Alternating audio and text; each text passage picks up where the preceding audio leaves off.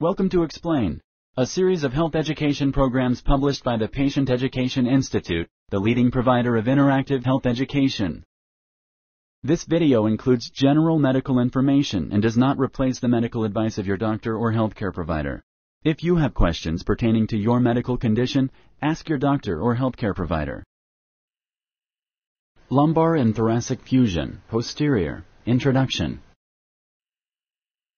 Pain in the lower back and legs caused by unstable vertebrae or degenerated discs is a common condition that limits your ability to move and work.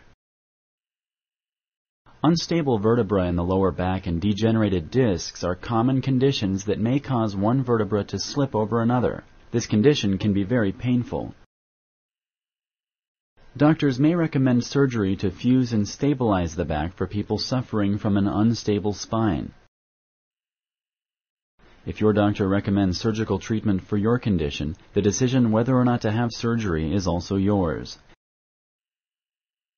This patient education module will help you understand the benefits and risks of this surgery. Anatomy The spine protects the spinal cord and nerves that go to different parts of the body. The spine is formed of bones called vertebrae.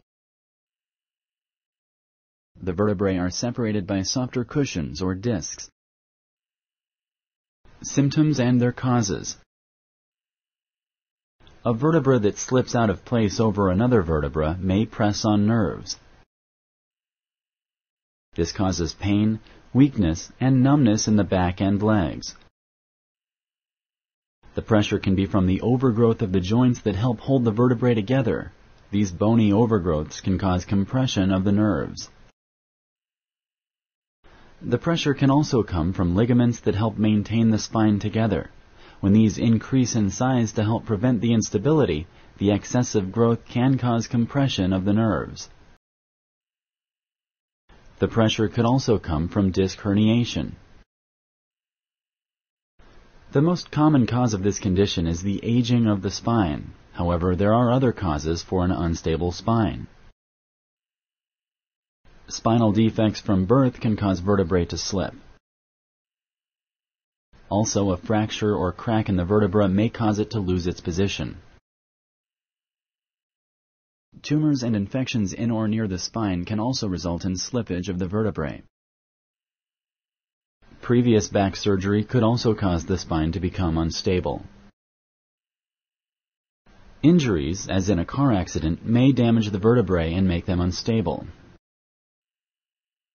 Degeneration of the discs in the lower spine are also most commonly due to arthritis and wear and tear of these discs. Trauma, such as accidents, can hasten this degeneration. Such disc degeneration could be accompanied by instability of the spine. With or without obvious slippage of the spine, disc degeneration could cause severe lower back pain. Sponsored by the Patient Education Institute www.patient-education.com. Over 5,000 videos and interactive tutorials. Alternative treatments. The pain from this condition is usually worse when standing, lifting, or bending. Lying down may reduce the pain. Use of a lumbar corset may help with the symptoms. Physical therapy may also relieve the symptoms. Traction could also be used. Medications can be helpful in decreasing the swelling and inflammation. The medication is sometimes administered in the back itself. If the pain is still bad enough to interfere with your lifestyle after trying exercise and medication, your doctor may recommend surgery. Disc replacement can also be done. Your doctor and you will decide which operation is best for you. This module discusses the fusion operation. In the case of injury, such as a car accident, an operation may be necessary to prevent further damage to the spine and spinal cord. Surgical treatment. The operation is usually done under general anesthesia. The spine is approached from the back. There are three major objectives for this surgery. The first one is to remove any bone, ligament, or disc causing pressure on the nerves. The second is to stabilize the spine by fusing the vertebrae so they no longer slip with movement. Finally, the operation aims at restoring the normal shape of the spine as much as possible. This is done through implantable devices that hold the fusion together.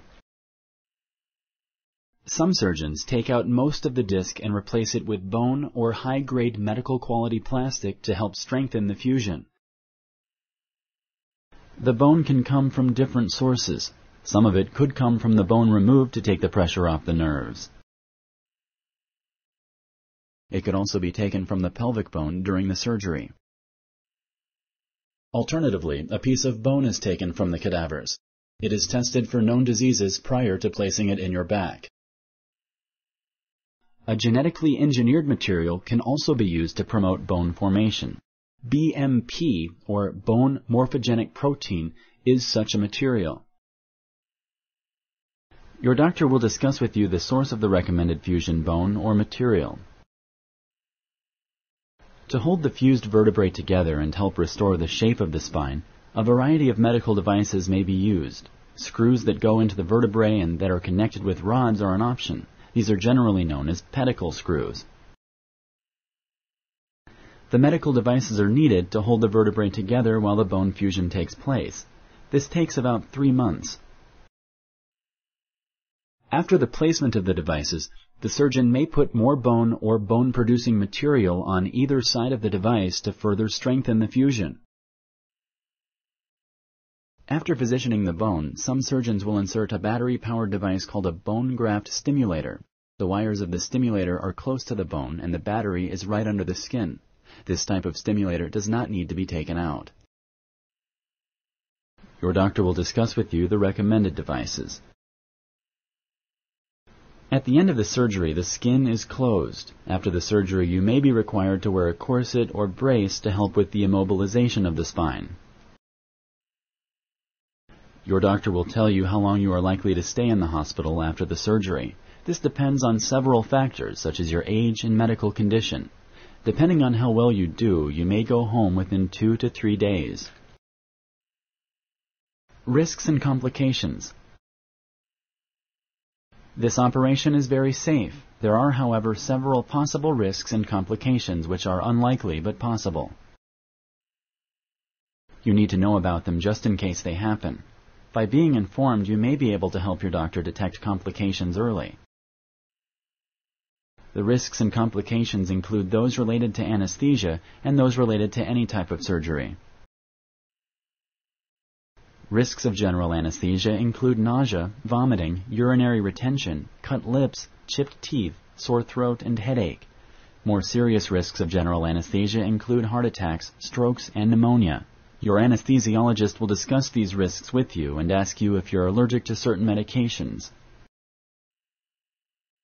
Blood clots in the legs can occur due to inactivity during and after the surgery. These usually show up a few days after surgery. They cause the leg to swell and hurt. Blood clots can become dislodged from the leg and go to the lungs where they will cause shortness of breath, chest pain, and possibly death. It is extremely important to let your doctors know if any of these symptoms occur. Sometimes the shortness of breath can happen without warning. Getting out of bed shortly after surgery may help decrease the risk of blood clots in the legs. Some of the risks are seen in any type of surgery. They might occur from the spinal surgery or from the operation to remove a piece of bone from the pelvis if it is performed. These risks include infection deep in the disc space or at the skin level, bleeding, a skin scar that may be painful, the iliac crest incision where the bone is taken out tends to hurt a lot after the surgery. This rarely lasts for a long time, but is sometimes more painful than a spine incision. Other risks and complications are related specifically to this surgery. These again are very rare, however it is important to know about them. Fluids may leak from around the nerves. there is a very small chance that blood vessels may be injured in front of the spine, resulting in bleeding that could be life-threatening. The bowels could also be injured in front of the spine. The nerves themselves could be injured, causing possible weakness, paralysis, bowel or bladder dysfunction, and decreased sensation. It is very rare, but sexual dysfunction may occur. A disc could rarely reherniate and scar tissue could form.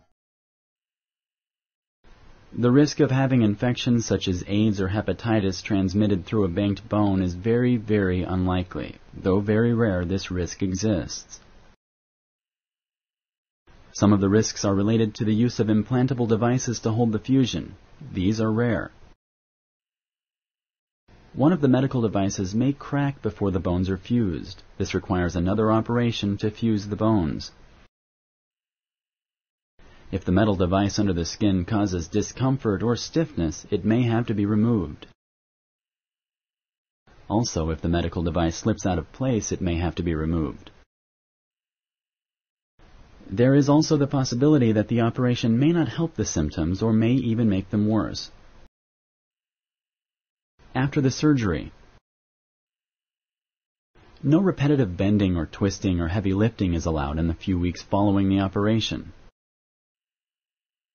A brace or corset may have to be used for a few weeks to a few months to help immobilize the spine. The range of motion of your back will be limited by this operation. Smoking may slow the rate of fusion of the bone and may even be responsible for the total failure of the fusion. This is why it is very important to quit smoking months before such an operation. After this period of relative rest, physical therapy may be necessary to allow you to resume your previous activities. How much of your activities you will be able to resume depends on how well you're doing at the time of your follow-up. Your doctor will tell you how long it will take before your back is healed and when you can return to work. This depends on your age, type of work, and medical condition, as well as other factors. If you like this video, please like and share. For similar videos, subscribe to our channel. Summary Spinal fusion surgery can help relieve your pain when other non-surgical treatments fail. This operation is very safe, with excellent results. However, as you have learned, complications may happen. Knowing about them will help you detect them early if they happen. Thank you for using X-Plain.